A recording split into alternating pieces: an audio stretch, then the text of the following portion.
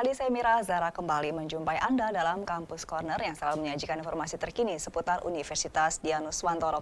Dan kali ini saya akan memberikan informasi seputar Prodi Akuntansi S1 Udinus yang menjadi wadah untuk raih profesi impian. Dan sudah hadir bersama saya Sekretaris Prodi Akuntansi S1 Udinus, Zaki Mahmuda MSI AKT CA CSRA. Selamat siang, siang Bu Zaki. Terima, Terima kasih, kasih sudah hadir.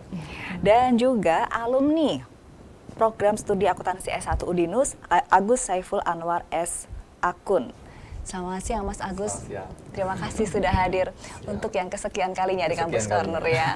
Baik, ini kita akan mengajak pemirsa untuk mengenal lebih dekat bagaimana Prodi S1 Akuntansi ini seperti apa. Dari Bu Zaki dulu, boleh diceritakan Bu suasana belajar di akuntansi seperti apa Bu?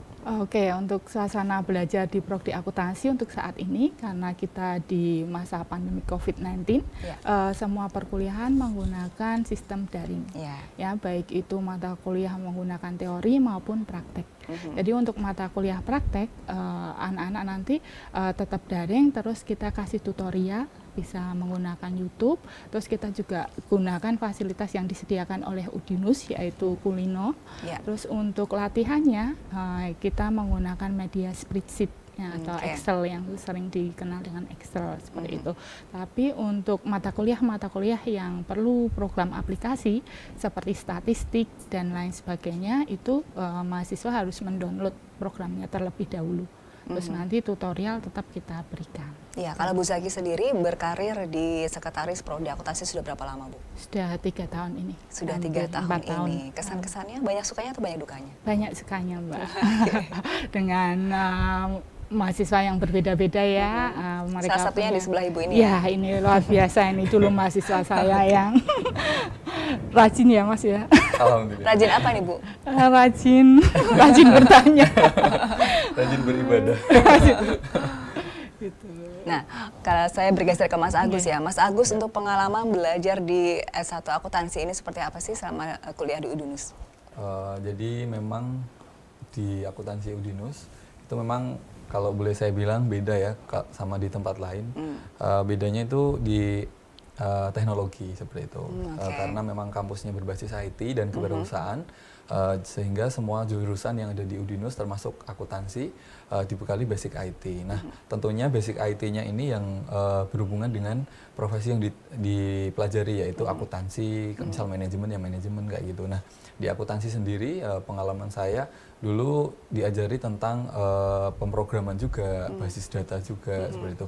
Yang itu uh, tidak ada hubungannya sama akuntansi aslinya seperti itu, hmm. tapi uh, ketika saya belajar ternyata ada hubungannya sama akuntansi. Okay. Jadi eh, program-program uh, aplikasi itu uh, dihubungkan dengan akuntansi untuk pembuat, pembuatan aplikasi, okay. pembuatan uh, sis, apa web gitu kan, sistem dan juga uh, untuk profesi akuntansi sendiri yaitu kayak penjurnalan, terus apa penyusunan laporan keuangan itu semuanya pakai aplikasi. Nah, itu yang membuat uh, menurut saya ini nilai bedanya mm. akuntansi Udinus yeah. dibandingkan kampus lain. Nah, mm. ini juga menjawab tantangan zaman juga uh, di industri 4.0 bahkan nanti sebelah, uh, sebentar lagi 5.0 uh, seperti itu semuanya pakai aplikasi serba namun, digital. Uh, uh, digital. Nah, cuma tidak akan menggeser profesi akuntan seorang hmm. akunting kayak gitu. Hmm. Nah, karena walaupun nanti ada aplikasi seorang akunting, uh, akunting itu juga nanti akan uh, bertugas membaca laporan hmm. keuangan, menganalisa dan juga uh, menyusun sebelum diinputkan ke sistem itu kan